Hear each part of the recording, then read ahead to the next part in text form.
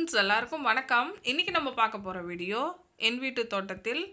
எங்கள் வீட்டு தோட்டத்தை தாங்க பார்க்க போகிறோம் வாங்க பார்க்கலாம்.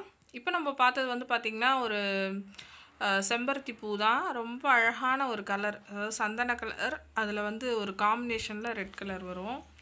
அதுக்கப்புறம் இந்த சைடு இருக்க செடிலாம் வந்து பார்த்திங்கன்னா சோளம். நம்ம சாப்பிடுவோம்ல அந்த சோளம் தான். அதிலே கத்திரி செடி இருக்குது அதுக்கப்புறம் வந்து பார்த்திங்கன்னா தக்காளி செடி இருக்குது வெள்ளரி செடி இருக்குது அப்புறம் புதினாவும் அதுக்கு நடுவில் இருக்குது அவரை செடியும் இருக்குது ஸோ அதெல்லாம் வந்து நான் செப்ரேட்டாக அப்புறமா காட்டுறேன். ஸோ இந்த சைடும் பார்த்திங்கன்னா கத்திரி நாற்று தான். எல்லாமே வந்து பார்த்திங்கன்னா விதை போட்டு வந்தது தான். விதை போட்ட செடி தான் எல்லாமே வந்து பார்த்திங்கன்னா ஸோ விதை போட்டு நாற்று வந்து அதை தனித்தனியாக எடுத்து வச்சுருக்கோம். சரிங்களா? அதே மாதிரி இந்த சைடும் சோளம் நட்டுருக்கோம் அதுக்கப்புறம் வந்து பார்த்திங்கன்னா காஞ்ச மிளகா விதை காஞ்ச மிளகாவோட விதை தான் வந்து பார்த்திங்கன்னா தூவியிருக்கோம். அது வந்து நாற்று வந்திருக்கு. கருவேப்பிலை செடிங்க. சுற்றி சுற்றி எங்கே பார்த்தாலும் கருவேப்பிலை செடி நிறைய இருக்கும். இது வந்து பார்த்திங்கன்னா அடுக்கு மல்லி. பாருங்க நல்லா பச்சை பசேல்னு கருவேப்பிலை செடி இருக்குது பாருங்கள் கருவேப்பிலை வந்து ஊறுகாய் துவையல் பண்ணலாம். இது வந்து எப்படி விதை போட்டோன்னா கருவேப்பிலை பழம் இருக்கு இல்லைங்களா? மரத்தில் பழம் இருக்கும் பாருங்கள் கருவேப்பிலை பழம். அதை எடுத்துகிட்டு வந்து வெயிலில் காய வச்சு அதோட விதையை நீங்கள் போட்டிங்கன்னா நீங்கள் போடுற இடம்லாம் கண்டிப்பாக கருவேப்பிலை செடி ரொம்ப நல்லா வரும். தண்ணி வந்து டெய்லி ஊற்றணும் விதை போடுறது மட்டும் இல்லாமல் டெய்லி தண்ணி ஊற்றணும் வந்து பார்த்திங்கன்னா ஸோ அப்போ தான் நல்லா வரும். ஸோ இப்படி தான் நாங்கள் கருவேப்பிலை செடி கொண்டு வந்தோம்.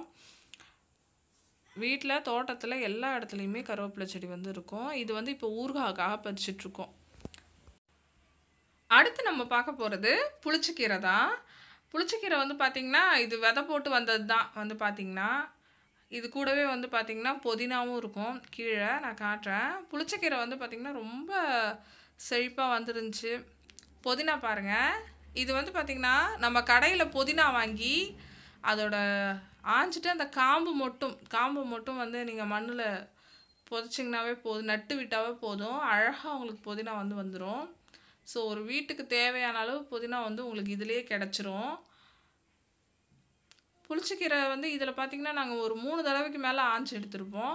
அதாவது கடையில் விற்கிறவங்க தான் என்ன பண்ணுவாங்கன்னா பிடுங்கி விற்பாங்க நீங்கள் நீங்களே வீட்டில் வைக்கும்போது இதை ஆஞ்சு விட்டிங்கன்னா போதும். இன்னும் ரெண்டு மூணு தடவை உங்களுக்கு கீரை ஈல்டு கிடச்சிக்கிட்டே இருக்கும் வந்து பார்த்திங்கன்னா இது வந்து பார்த்திங்கன்னா நாட்டு தக்காளி செடி. இதில் வந்து பார்த்திங்கன்னா நிறைய தக்காளி கிடச்சிச்சு. தக்காளி வந்து ரொம்ப சீசனில் விலை கம்மியாக விற்றுச்சு பாருங்க. அப்போ தான் இதில் வந்து தக்காளி கிடச்சிது வந்து பார்த்திங்கன்னா ஸோ அந்த டைமில் நிறைய தக்காளி கிடச்சிச்சு. ஸோ ஆனால் அந்த டைமில் விலை ரொம்ப கம்மியாக தான் இருந்துச்சு. இது வந்து பார்த்திங்கன்னா புளிச்சக்கீரை. தான் நம்ம ஏற்கனவே பார்த்த புளிச்சக்கீரை செடி தான். இது வந்து பார்த்திங்கன்னா சுண்டை செடி சுண்டக்காய் செடி சொல்லுவோம்ல. ஸோ அது இது வந்து பார்த்திங்கன்னா அவரை கொடி இந்த அவரை செடி இப்படி இப்போ இருக்குல்ல இது இதுக்கு முன்னாடி எப்படி இருந்துச்சுன்னு நான் உங்களுக்கு காட்டுறேன். இதுக்கு முன்னாடி இந்த அவரை செடி இப்படி தான் இருந்துச்சு. நல்ல பூ பூத்து நிறைய காய் வச்சுச்சு வந்து பார்த்திங்கன்னா இந்த காய் ரொம்ப டேஸ்ட்டாக இருந்துச்சு சாம்பாருக்கெலாம் ரொம்ப நல்லா இருந்துச்சு. கிட்டத்தட்ட பார்த்தீங்கன்னா இதுலேயே நாங்கள் ஒரு அஞ்சாறு கிலோ அறுவடை பண்ணியிருப்போம் இங்கே பாருங்கள் ஸோ ஒரு கிட்டத்தட்ட ஒரு அஞ்சாறு கிலோ காய் நாங்கள் அறுவடை பண்ணியிருப்போம் காய் ரொம்பவே நல்லா இருந்தது பார்த்திங்கன்னா இதை விட கிணத்து மோட்டில் இன்னொரு செடி போட்டிருந்தோம். அதுலேயுமே இன்னும் காய் அதிகமாக வச்சிருந்துச்சு. இது வந்து பார்த்திங்கன்னா புளிய மலார் இருக்கும் இல்லைங்களா? ஸோ அதை வந்து பந்தல் மாதிரி போட்டு அது மேலே அந்த செடி ஏற்றி விட்டோம் ரொம்ப நல்லா காய்ச்சிச்சு. இப்போ வந்து திரும்பவும் போட்டிருக்கோம். இது வந்து பார்த்திங்கன்னா புளிச்சக்கீரை ஆஞ்சுது. ரெசிபிக்காக ஆஞ்சு வச்சது. பாருங்கள் எவ்வளோ ஃப்ரெஷ்ஷாக இருக்குது எந்த மருந்தும் கிடையாது. நம்ம வீட்டிலே நாம்ளே சும்மா விதை வாங்கி போட்டு விட்டால் போதும். அழகாக நாற்று வந்து புளிச்சக்கீரை வந்துடும் பார்த்திங்கன்னா ஒரு அஞ்சு ரூபா தான் இருக்கும் அந்த விதை பார்த்திங்கன்னா அந்த மாதிரி வாங்கி போட்டு பாருங்கள் கீரை நல்லா வரும்.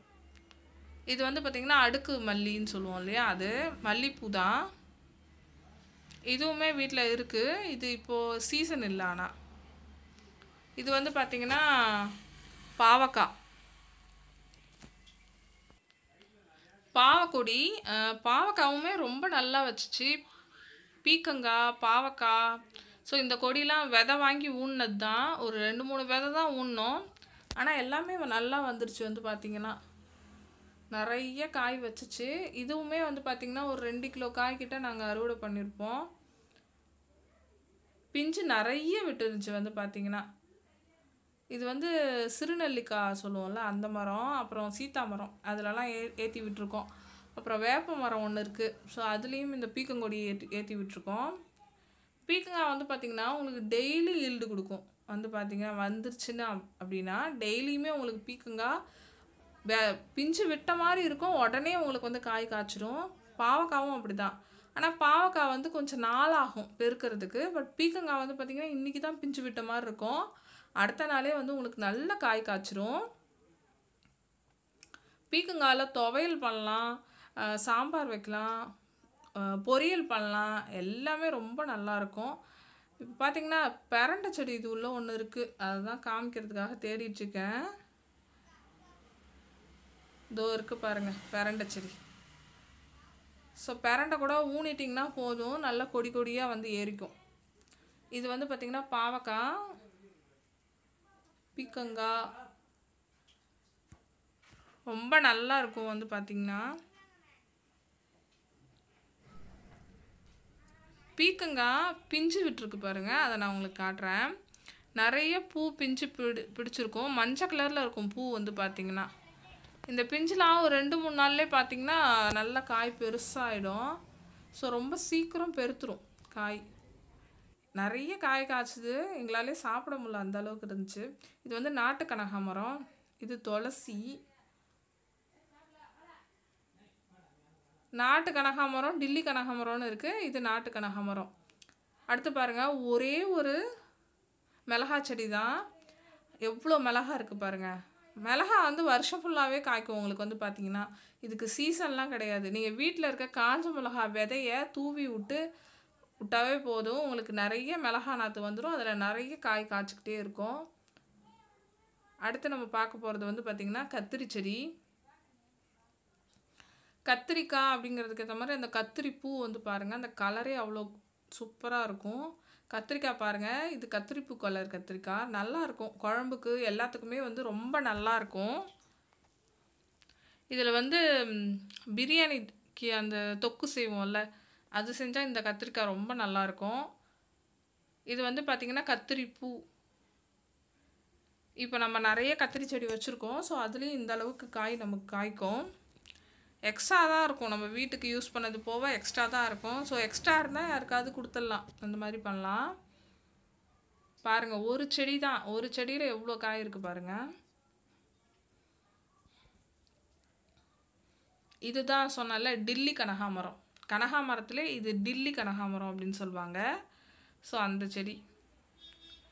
பூ இது ரொம்ப அழகாக இருக்கும். அடுத்து நம்ம பார்க்க போகிறது வந்து பார்த்திங்கன்னா பாவக்காய் நம்ம பாவக்காய் செடி காமிச்சோம் இல்லைங்களா? அதுலேருந்த பாவக்காய் தான். ஸோ ஃபஸ்ட் டைம் எடுத்த ஈல்டு அப்படிங்கிறதுனால அது வீ வீடு எடுத்து வச்சுருந்தேன். பாருங்கள் எவ்வளோ நல்லா இருக்குது பாருங்கள் ஸோ ஆசை தாங்கலை. இது இன்னும் விட்டாவே பெருக்கும். உங்களுக்கு வந்து பார்த்திங்கன்னா காய் நல்லா பெருசாக பெருக்கும். பட் இருந்தாலும் குழம்பு வச்சிடலாம். பாப்பா டெய்லி கேட்டா அப்படிங்கிறதுனால சரி கடையில் வாங்கின ரெண்டு காய் இருந்துச்சு. அது கூடயே இதையும் போட்டு நம்ம குழம்பு வச்சிடலாம் அப்படின்னு சொல்லிட்டு பறிச்சிட்டேன் நல்லா ஆனால் ரொம்ப டேஸ்ட்டாக இருந்துச்சு. கசப்பெல்லாம் இல்லவே இல்லை. நாட்டுக்காய் ரொம்ப நல்லா இருந்துச்சு. ஸோ இந்த ரெண்டு பாவக்காவும் சேர்த்து குழம்பு வச்சிடலாம் அப்படின்னு சொல்லிட்டு. டெய்லி வந்து பார்த்திங்கன்னா செடி காய் ஏதாவது கிடச்சிட்டே இருக்கும். ஸோ கடையிலே காய் வாங்குறதில்ல. இது வந்து பார்த்திங்கன்னா பப்பாளிக்காய் மரம். பப்பாளி மரம் வந்து பார்த்திங்கன்னா பழம் இதோட பழம் அவ்வளோ இனிப்பாக இருக்கும். சில இடத்துல நம்ம பப்பாளி பழம் வாங்கி வெட்டி சாப்பிடுவோம். டேஸ்ட்டே இருக்காது. இது வந்து நல்ல விதை உள்ளே இருக்கும். நல்ல இனிப்பாக இருக்கும் இந்த பழம் சாப்பிட்றதுக்கு. இதோட தோலை சீவிட்டு காயில் வந்து நம்ம சில்லிலாம் கூட போடலாம். நான் அந்த ரெசிபிஸ் உங்களுக்கு கண்டிப்பாக காட்டுறேன். இது வந்து பார்த்திங்கன்னா வீட்டுக்கு பின் சைடு பின்பக்கம் தோட்டம். இது வந்து பார்த்திங்கன்னா கருவேப்பிலை செடி தான். நான் சொன்னேன் இல்லைங்களா முன்னாடி வீட்டுக்கு முன்னாடியும் கருவேப்பிலை தான் பின்னாடியும் கருவேப்பிலை செடி நிறையவே இருக்கும். நாங்கள் சொன்ன மாதிரி அந்த கருவேப்பிலை பழத்தோட விதையை தான் போட்டோம். ஸோ இந்த அளவுக்கு நமக்கு வந்து செடி வந்திருக்கு. இது வந்து ஊறுகாய் அரைக்கிறதுக்கு நாங்கள் நிறைய டெய்லி யூஸ்க்குலாம் கூட யூஸ் பண்ணிப்போம். அக்கம் பக்கம் இருக்கவங்க அந்த மாதிரி ஒடிச்சுப்பாங்க. ஸோ அந்த மாதிரி கொடுப்போம்.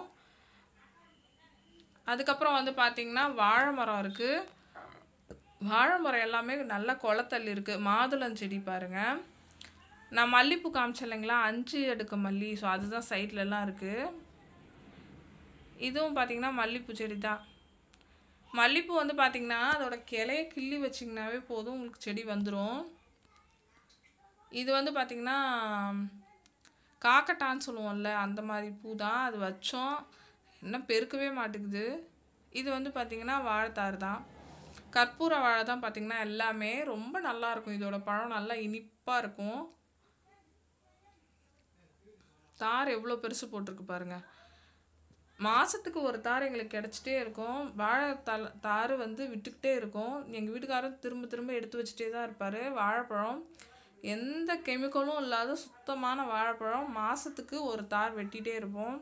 அக்கம் பக்கம்லாம் கொடுப்போம். ஸோ அந்த மாதிரி நிறைய ஈல்டு கிடைக்கும். இது ஃபுல்லாக மல்லிப்பூ செடி தான் வந்து பார்த்திங்கன்னா சீசன் இல்லை. சீசன் இருக்கும்போது நல்ல பூ வைக்கும். நல்லா அடுக்கு மல்லி நல்லா பெருசாக வரும். இது வந்து பார்த்திங்கன்னா சீத்தா மரம். இதோட பழமும் ரொம்ப நல்லா டேஸ்ட்டாக இருக்கும் வந்து பார்த்திங்கன்னா சீத்தா பழம் நிறையவே வைக்கும் சீசன் டைமில்